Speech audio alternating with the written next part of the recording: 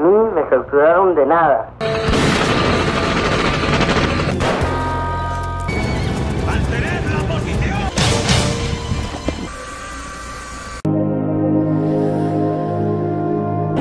Los hacen llevar allí, los asesinan y luego los hacen pasar por unos guerrilleros.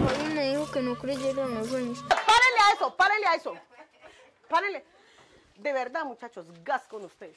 Vamos a empezar con pulmones, con firmeza, con finura, con estilo. Uno, dos, tres. La esclavitud ha acabado porque en el siglo XXI estamos.